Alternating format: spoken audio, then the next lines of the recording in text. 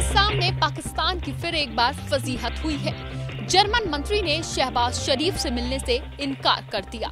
वजह हैरान करने वाली है। असल में हुआ यूँ कि जर्मनी की मंत्री स्वेनिया शुल्जे पाकिस्तान के प्रधानमंत्री शहबाज शरीफ से मिलने पहुँची थी। इसी दौरान उन्हें शहबाज शरीफ की सिक्योरिटी ने रोक दिया। बोली कि बैग चेक करवाना पड़ेगा। जर्मनी की मंत्री ने इनकार कर दिया। पाकिस्तानियों ने प्रोटोकॉल की दुहाई दी। जर्मन की मंत्री नहीं मानी। पाकिस्तान ने जर्मन राजदूत एल्फ्रेड ग्रेनेस के साथ इस मामले पर थोड़ी देर चर्चा की। थैंक यू बाय बाय करते हुए दोनों बिना मिले गेट से ही वापस लौटने लगे। ये देखकर पाकिस्तानियों का हलक सूख गया। मान मनोवल के बाद जर्मन मंत्री को बैग समेत जाने दिया गया।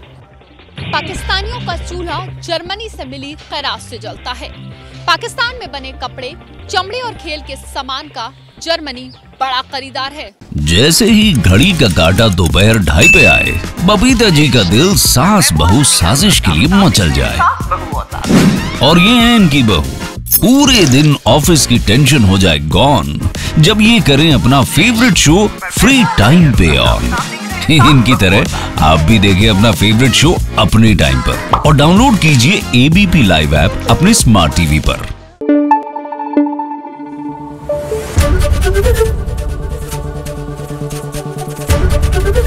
एबीपी न्यूज़ आपको रखे आगे।